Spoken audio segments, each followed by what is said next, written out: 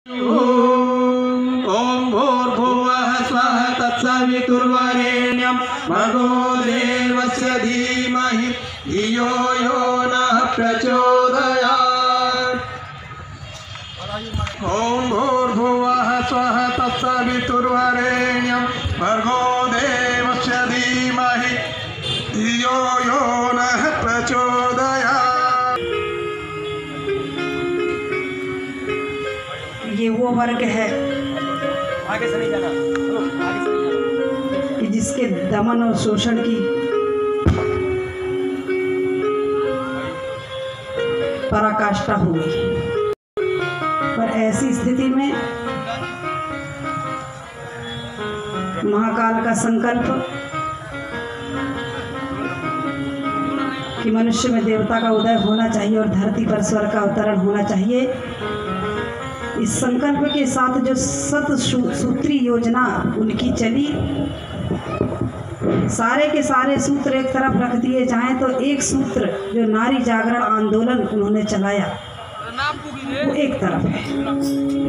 पूरा मिशन एक तरफ़, नारी जागरण एक तरफ़, और उन्होंने एक विशेष उद्घोष कर दिया कि किसवीं सदी किसकी होगी? नारियों की सदी होगी, बहनों की सदी होगी, महिलाओं की सदी होगी।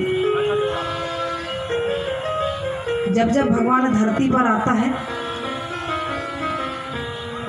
तब तक एक ही स्थापन के लिए आता है कि जैसे ही जैसे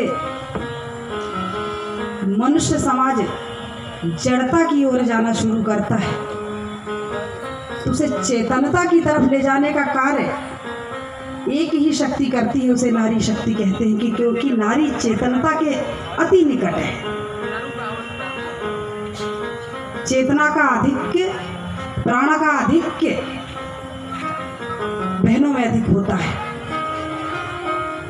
परमात्मा ने जब ये सृष्टि रची, सृष्टि रचने के बाद उसे ऐसा लगा कुछ और खूबसूरत होना चाहिए, कुछ ज़्यादा सुंदर होना चाहिए तो उन्होंने मनुष्य रचना की और मनुष्य रचना में भी नर और नारी दो रूप रचे, और दो रूप में भी एक रूप। नर को देखने के बाद उन्हें लगा कि नहीं, इसमें कुछ कम है तो एक नारी रूप रच दिया, अर्थात बिल्कुल अपने जैसा।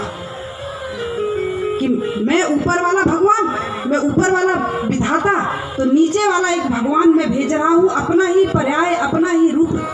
सृष्टा ने भेजा, जो नारी शक्ति है, नारी है।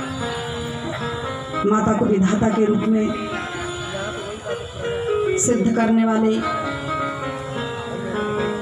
हमारे ऋषि, हमारे मुनि, नारी के गुण, नारी में निर्माण का गुण है